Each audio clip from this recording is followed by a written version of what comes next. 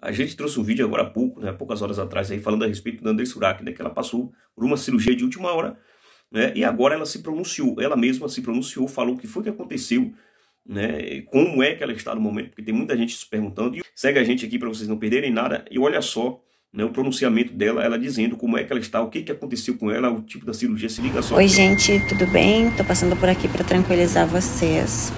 Arthur estava aqui comigo, ele que fez a baixa do meu hospital.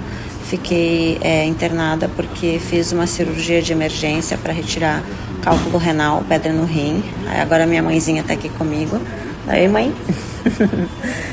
e tá tudo bem. Só passando por aqui para dizer para vocês que já fui operada, o cálculo foi retirado e está tudo bem. Agora vou para casa.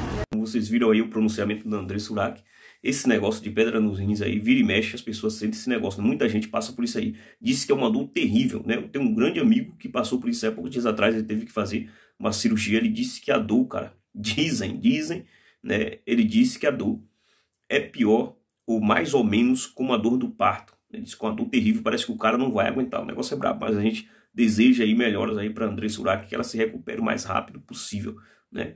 Segue a gente aí se nos seguir no início. Qualquer novidade a gente vai estar sempre atualizando vocês aqui em primeira mão, beleza?